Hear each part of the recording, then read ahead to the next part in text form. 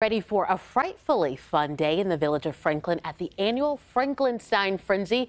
This family friendly Halloween event promises a day filled with excitement, activities, and savings for all ages. Sandra, this sounds like the perfect event for all the kiddos. That is right. You know, I'm here with Susan from the city of Franklin. Thank you so much, Susan, for being here. Thank you. You know what? I mean, Franklin, Franklinstein. I love Same. the play on words. It's fantastic. So tell us where the idea came from.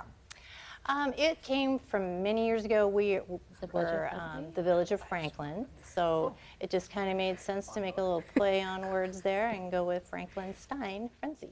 Franklinstein Frenzy. Yeah. I love that. So, what is Franklinstein Frenzy? So it is a fun day um, for the kids and family event. Uh, so we start out with uh, between 11 and 4, all of our little uh, merchants downtown will be open doing spectacular little shopping events.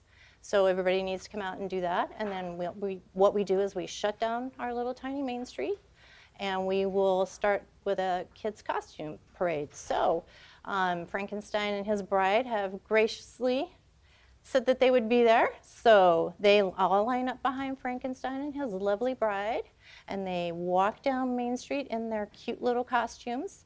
They're going to go up to the end, to the other end. Um, and they're going to go to the photo booth after they're done with the parade and they're going to go up there and get pictures with all their cute little outfits and and have fun walking through and getting candy up there and then they will come back through the downtown trick-or-treating.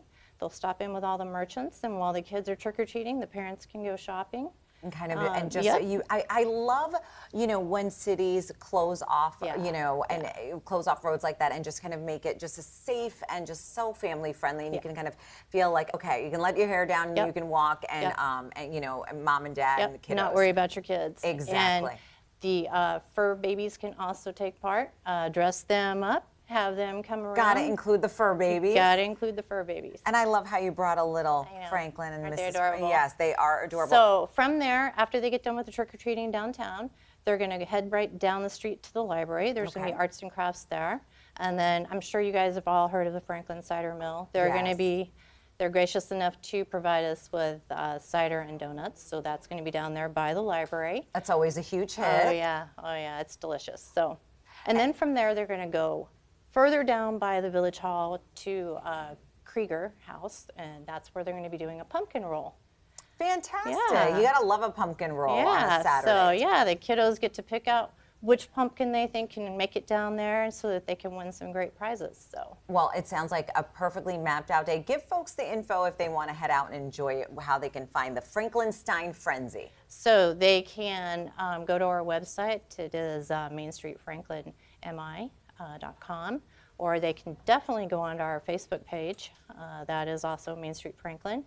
And just um, head out there and have a great time. It will start at 11:45 is the lineup for the parade, and the event will go until about 2 o'clock, 2:30, until all the pumpkins are gone. All right, fantastic, all right. love it. Saturday afternoon fun yes. in Franklin. Thanks so Everybody much for stopping. Everybody needs to be there. Thank you. Thanks for stopping by.